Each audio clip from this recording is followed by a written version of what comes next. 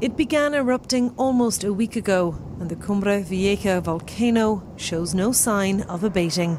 It has spewed out thousands of tons of lava, destroyed hundreds of homes, and forced the evacuation of nearly 6,000 people, while others wait and watch and hope. I feel anxious and nervous, this woman says. Yesterday they told us we had to leave.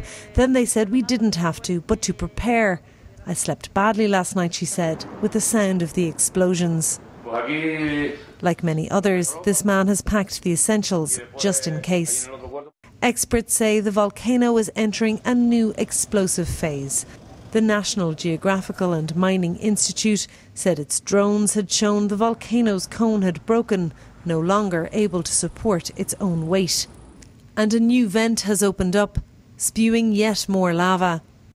For those looking to leave the island, the airport is currently out of commission, closed as staff struggle to clear the accumulated ash, leaving stranded passengers frustrated.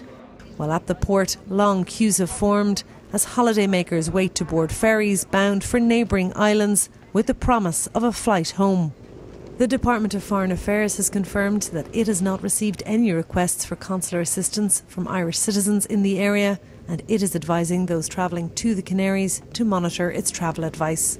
Laura Fletcher, RTE News.